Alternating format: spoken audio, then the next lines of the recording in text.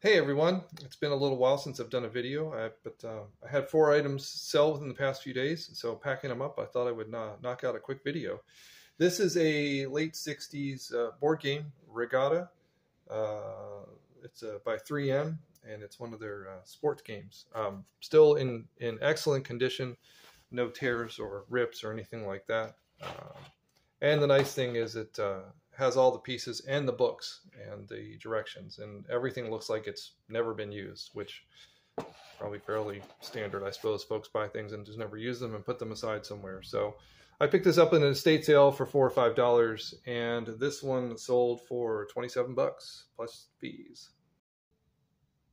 So here is a uh, 124 scale die-cast um, Johnny Lightning series vehicle. Uh, this is a 1971 Plymouth Duster, and uh, this one sold for $65 plus shipping and tax. Uh, picked this up off Craigslist in a in a collection. A guy was selling a collection of diecast vehicles, uh, Hot Wheel size vehicles, some models that he had put together, as well as some models still in the box, and uh, had the whole collection up on Craigslist. And uh, I thought, oh, this you know pretty nice opportunity. Spent a little more money, but um, I am I am on the plus side for this. Made all my money back within a couple months, and uh, now on the plus side with still plenty to sell. So good times.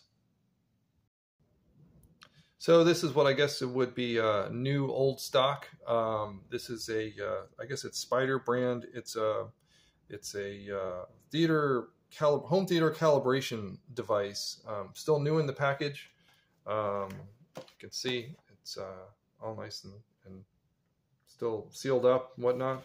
Um, picked this up in an online auction for just a couple dollars. I think somebody was basically selling the remnants of uh, an older camera store in the area. Perhaps the owner had uh, closed it down and just taken everything home. I don't know. But um, got this for a few bucks and sold it for 25 plus fees. And lastly, uh, I've got this uh, uh, comic book and record set. These were done by Powered Rec- Power Records. 1974 uh, was the year on this one. Uh, this is uh, this is number 13. Comes with a 45 record. There it is, and and then a comic book. And I remember having some of these new. well, yeah, I guess they were new. Um, and so I I scored a bunch of these, about eight or nine of them at an estate sale uh, about a week ago.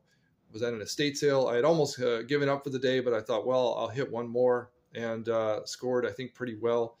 Um, ended up finding these on a top shelf in a closet behind a, a, behind a bunch of other old books that I just think nobody wanted to look past. And um, found nine of these as well as some other uh, not regular comic books, but collected comic books. So, um, and I got them for a buck a piece, which was awesome. So, um, I believe this is the fifth one I've sold. Uh, the the non superhero ones of these sell a little bit quicker um, and for a little bit more money. This one was just 15 bucks, but you know I paid a dollar, so uh, who's complaining?